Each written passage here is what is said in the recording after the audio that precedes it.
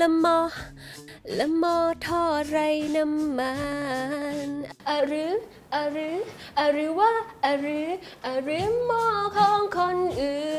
น เสียบปลั๊กไว้ทั้งคืนก็เจอเฮ้ยนี่มันไก่ทอดของเรานี่นาเราคงจะได้กินมันแล้วแหละ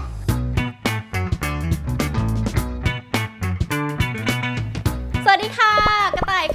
วันนี้สาสิชามารีวิว เราจะมารีวิวไอเทมที่ทุกบ้านจะต้องมี เป็นไอเทมเด็ดที่ต้องมีติดบ้าน หลายบ้านมีแล้วแต่ บ้านยังไม่มี วันนี้ก็เลยจะมาแนะนำค่ะ กับหม้อทอดไร้น้ำมันแต่ถ้าเกิดเธอไม่รักกันนะมันไร้น้ำใจเนา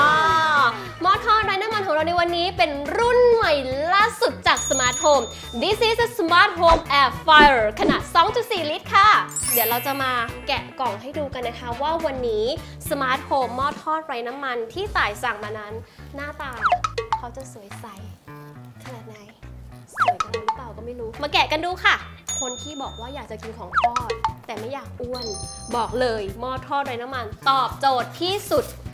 โอ้วิหน้าตาดีหน้าตาดีรักเลยอะอยู่กับที่บ้านใครนะ จะสวยมากเลยบอกเลยว้าวนี่ค่ะทะแดนอันนี้นะคะเป็นที่ใส่ของนะเป็นตะแกรงของเขามานี่แล้วในนี้ก็จะมีเป็น เหมือนตะแกรงรองน้ำมันให้ด้วยแบบนี้นะคะ เพื่อเอาไว้ใส่บางทีแบบอุ่นย่าง อบทอดนี่ทำได้หมดเลย วิธีใช้งานง่ายมาก ตรงนี้จะเป็นปุ่มนาที เราสามารถตั้งเวลาได้สูงสุดถึง 30 นาที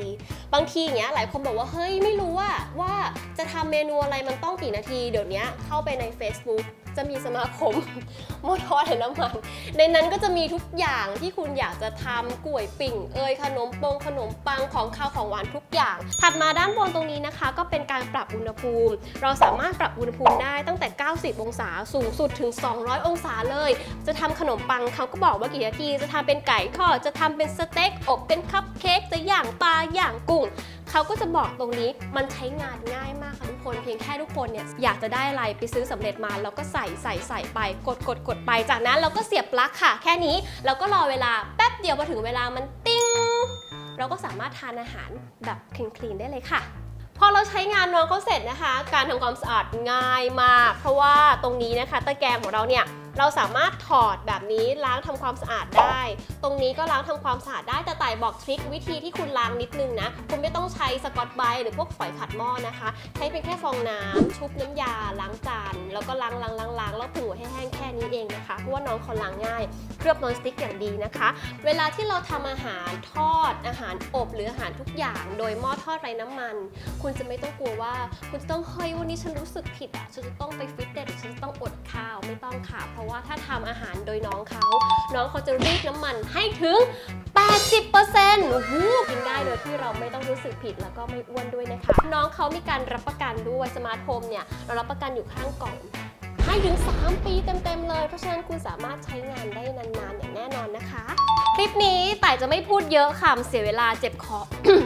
เราไปให้น้องเขาทำอาหารให้ดูเลยแล้วกันค่ะ ว่าแต่ละเมนูที่ผ่านมาจากน้องสมาร์ทโฮมนั้น มันน่ากิน มันเจ๋ง มันดี มันรสขนาดไหนไปค่ะ วันนี้เราจะทอดปลาสลิดบางบ่อ แบบที่ไร้น้ำมันไม่อ้วนด้วยง่ายๆค่ะ เราก็ดึงลิ้นชักออกตรงนี้ แล้วเราก็นำปลาสลิดนะคะ ใส่ไปเสร็จแล้วปุ๊บเราก็ปิดค่ะ พอปิดเสร็จ อย่างแรกที่ต้องทำอย่าลืมนะ อย่าลืมเสียบปลั๊กเราก็มาตั้งอุณหภูมิก่อนอุณหภูมิของปลาสลิดนะคะ เราก็จะใช้อยู่ที่ 200 องศาค่ะ เราก็ตั้งเวลานะคะไปที่ 15 นาที นี่เองจากนั้นค่ะคุณก็ปล่อยเขาไว้ 15 นาที จะทำอะไรก็ทำจะไปไหนก็ไป พอเขาติ้งเสร็จเรียบร้อยแล้ว คุณก็กลับด้านของปลา แล้วก็มาทำต่ออีก 15 นาที แค่นี้เองคุณจะได้กินปลาสลิดกรอบแล้วค่ะ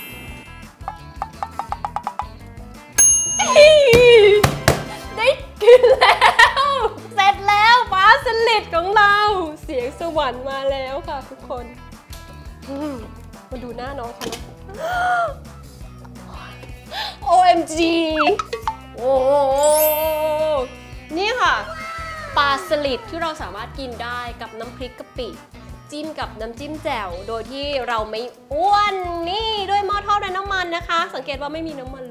เลย นี่ค่ะ เป็นแม่บ้านมือใหม่มือโปรก็สามารถทำเมนูง่ายๆแบบนี้กับสมาร์ทโฮมได้นะคะ เมนูต่อไปนะคะ มีปลาแล้ว แล้วก็ต้องมีจุ้งค่ะ เป็นจุ้งธรรมดาไม่ได้ต้องเป็นกุ้ง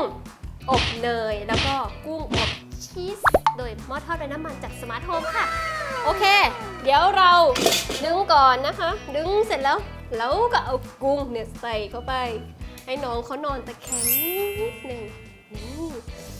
น่ากินมากเลย นี่ค่ะ เสร็จแล้วปุ๊บเราก็ปิดเลยค่ะ ตั้งเวลานะคะ ตั้ง 15 นาที อุณหภูมิ 180 องศา 15 นาที แค่นี้เองค่ะ แล้วก็จะไปทำอะไรก็ทำไปไหนก็ไป 15 นาทีแล้วเราจะได้กินกุ้งแม่น้ำอบชีสกับกุ้งแม่น้ำอบเนยแล้วฉันได้กินกุ้งแล้วแม่จะจะต้องได้กินกุ้ง OMG น่าดีมาก แล้วเสร็จแล้วปุ๊บเราก็จะมาจัดจานตะดา และนี่ก็คือกุ้งอบกุ้งอบเนยและ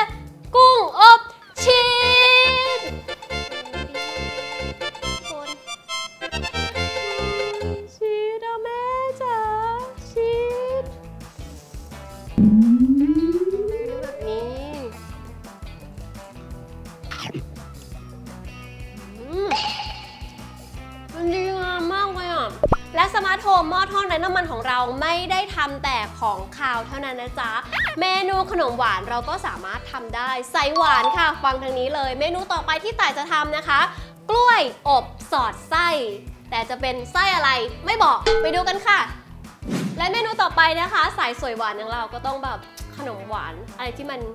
ยากๆไม่ทำทำง่ายๆกล้วยกล้วยๆแล้วกันค่ะ เป็นกล้วยอบสอดไส้ นี่เป็นไส้ลูกเกดนะคะอันนี่จะเป็นไส้มะพร้าวไส้ฝอยทอง เราก็จะเอากล้วย เราเตรียมไว้เป็นกล้วยน้ำว้า จะเอาสุกหรือจะเอาห่ามก็แล้วแต่เลยนะคะ เราก็เตรียมกล้วยแล้วเราก็ผ่าครึ่งกล้วยไว้แบบนี้นะ ผ่าไว้แบบนี้ แล้วเดี๋ยวต่ายจะเอาลงหม้อทอดนะคะ เราจะต้องอบกล้วยก่อนก่อนที่จะใส่ไส้นะคะ เราก็เอาใส่ไปเลยนี่ใส่เข้าไปปั๊บแบบนี้เราก็ตั้งเวลา 200 องศาค่ะ 15 นาทีเท่านั้น พอกล้วยอบเสร็จเดี๋ยวเรามาใส่ไส้กันทีหลังนะคะทะดาเสร็จเรียบร้อยแล้วค่ะ กับกล้วยอบสอดไส้นะคะไวยังกับแมจิกยังกับมายากลเลย อันนี้แต่ใส่ไส้ไว้แล้วเป็นไส้ลูกเกดไส้ฝอยทองแล้วก็ไส้มะพร้าวอยากจะใส่ไส้อื่นก็ใส่ไปเลยนะคะ อันนี้คือฝอยทองชอบกินมาก ชิมก่อนฝีมือตัวเองเป็นไงอืมอย่าบอกใครนะว่าอร่อยอะ เอาละ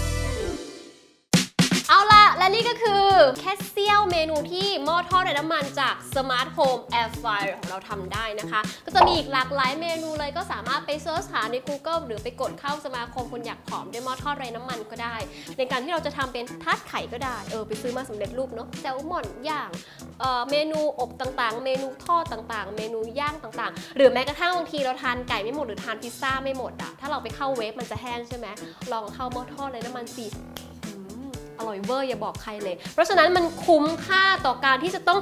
มีไว้ที่บ้าน มีเอาไว้ประดับครัว หรือบางที่เสาร์อาทิตย์ไม่รู้จะทำอะไรดี ก็สามารถหาเมนูมาทำได้กับหม้อทอดและน้ำมันของเราที่สามารถรีดน้ำมันได้ถึง 80%กินได้ไม่อ้วนไม่ต้องรู้สึกผิดนะคะ เอาล่ะ วันนี้ถือว่าคุ้มค่าสัติชามารีวิวของดีของเด็ดนะคะ ครั้งหน้าจะมารีวิวสินค้าอะไรต้องติดตาม ฝากกด subscribe เพจของ TV Direct ด้วยติดตามกันตลอดตลอดรักน้อย